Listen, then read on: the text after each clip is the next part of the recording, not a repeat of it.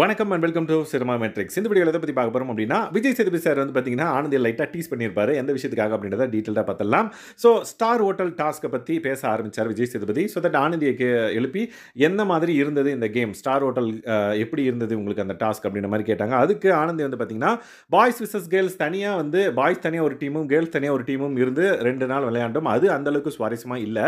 But ரெண்டு பேரும் கலந்து லைக் ஒஸ்ட் அண்ட் பெஸ்ட் அப்படின்னு சொல்லிட்டு ரெண்டாக பிரித்தாங்க அதில் பாய்ஸ் அண்ட் கேர்ள்ஸ் மிங்கிள் ஆகி ஒவ்வொரு டீம்லையும் வந்து இருந்தது. ரொம்ப நல்லா இருந்தது. எல்லாரும் மிங்கிள் ஆகி வந்து ஒரு டீமாக ஃபார்ம் பண்ணி நாங்கள் ப்ளே பண்ணது சூப்பராக இருந்தது அப்படின்ற மாதிரி சொல்லியிருந்தாங்க. ஸோ அதுக்கப்புறம் வந்து பார்த்திங்க அப்படின்னா லைக் எந்த அளவுக்கு இருந்தது? லைக் பர்ஃபார்மன்ஸ் uh, அந்த பர்டிகுலர் விஷயத்தில் அப்படின்ற மாதிரி விஜய் சேதுபதி வந்து கேட்பார் லைக் uh, கொஞ்சம் வந்து ஓவர் டுவாக இருந்த மாதிரி இருந்தது. லைக் யாருன்னு கேட்டதுக்கு கஸ்டமராக வந்தவங்க வந்து பார்த்திங்க அப்படின்னா கொஞ்சம் uh, எக்ஸாக்ஜரேட்டாக பண்ணி நிறைய விஷயங்கள் வந்து பார்த்திங்கன்னா ஓவர் டுவாக இருந்தது அப்படின்ற மாதிரி சொல்லியிருந்தாங்க.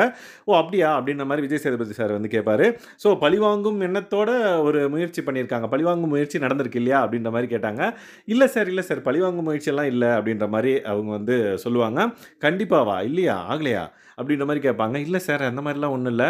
கேம் நல்லா தான் போயிட்டு இருந்தது ஸோ கொஞ்சம் ஓவர் டூவாக பண்ண மாதிரி இருந்தது. அவ்வளோதான் அப்படின்ற மாதிரி சொல்லுவாங்க. ஸோ யார் பண்ணதும் வந்து பழிவாங்கும் முயற்சி அப்படின்ற நோக்கம் வந்து உங்களுக்கு இல்லையா? உங்களுக்கு அது ஃபீல் ஆகலையா? அப்படின்ற மாதிரி விஜய் சேதுபதி திரும்பவும் அழுத்தி கேட்பாரு. கண்டிப்பாக இல்லை சார் அப்படின்ற மாதிரி ஆனந்தி வந்து அழுத்தி சொல்லுவாங்க. ஸோ ஓகே இதை நம்ம அப்புறம் பேசுவோம்னு சொல்லிட்டு ஆனந்தி உட்கார வச்சுட்டு ரஞ்சித் சார்கிட்ட போவார். ஸோ இந்த மாதிரி ஆனந்தி வந்து பார்த்திங்க அப்படின்னா லைட்டாக tease பண்ணிப்பாரு Vijay Sethupathi sir. So upcoming வீடியோவில் மற்றவங்க என்ன சொல்கிறாங்க அப்படின்னு தான் பார்த்தலாம் நம்மளோட சேனல் இது வரைக்கும் நீங்கள் சப்ஸ்கிரைப் பண்ணாதீங்கன்னா சப்ஸ்கிரைப் பண்ணி சப்போர்ட் பண்ணுங்கள் பிக் பாஸ் அப்டேட்டுக்கு தேங்க்ஸ் கைஸ் பாய்